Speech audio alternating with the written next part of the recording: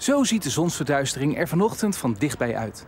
En op veel plekken in Nederland wordt het ook niet veel beter dan dit. Nee, die heb ik vandaag niet gezien. Niet gezien. Waarom niet? Ja, eh, het weer hè. Het weer zat tegen.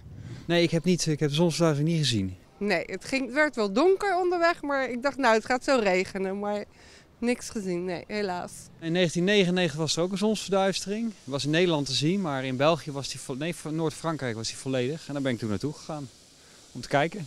Hoe was dat toen? Ja, het was wel heel bijzonder. Ja, het is een hele rare gewaarwording dat het overdag donker wordt. In Schravenzande staat amateur-astronoom Rob Lefeber in zijn achtertuin te kijken. En het is wachten op dat ene moment. Ja, komt hij weer, komt hij weer.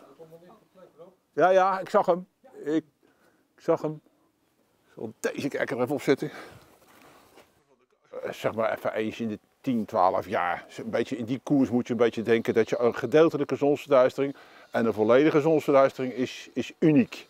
Dat is eens in de, weet ik veel, 70, 80 jaar moet je rekenen. Eens, één keer in een mensenleven. Maar bij zo'n eclips is iedereen van de leg. Niet alleen mensen, maar ook dieren. Het wordt helemaal stil, het wordt windstil.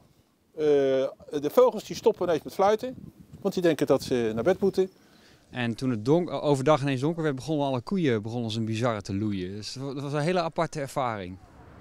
Onze eigen weerman Huub Misee is vandaag lichtelijk teleurgesteld. Maar het slechte zicht op de verduisterde zon komt niet helemaal als een verrassing. Het was bekend dat de bewolking zou overdrijven. En ja, vanmiddag brak die zon helemaal goed door. Dat risico hou je hier in Nederland. En niet alleen in Nederland, maar elders ook altijd natuurlijk.